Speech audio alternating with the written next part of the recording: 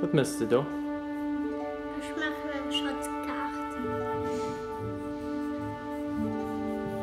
Do you recall the good old days of childhood when you endlessly explored nature, hunting for treasure using your self drawn map? Most of you probably haven't found a genuine treasure. Yet you did not come home empty handed, discovering the surrounding jewels of nature instead. It might have been a beautiful flower which grew near the edge of the forest, or maybe even a delicious blackberry waiting to be plucked.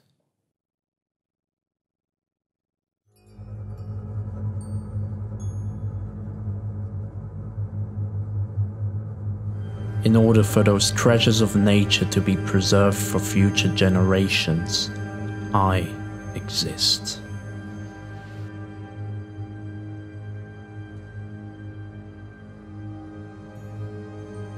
My name is Nature Park Mellerdall, and I am the youngest out of three nature parks situated in the Grand Duchy of Luxembourg. I cover an area of 256 square kilometers, stretching from the middle of the country to as far as the eastern border.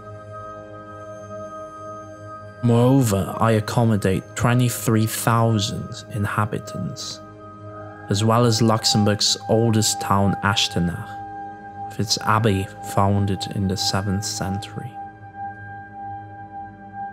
In reality, man has inhabited my soil for much longer than that.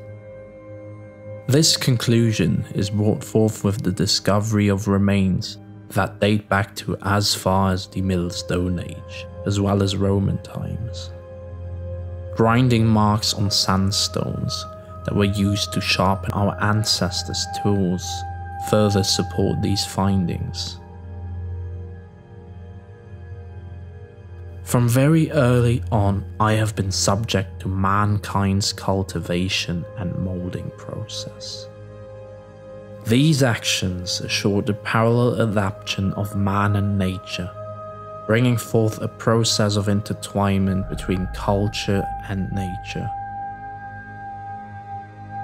The meadow orchards raised by our ancestors count among the most representative examples of this development. As of today, these orchards exhibit hundreds of fruit varieties, as well as their own biodiversity.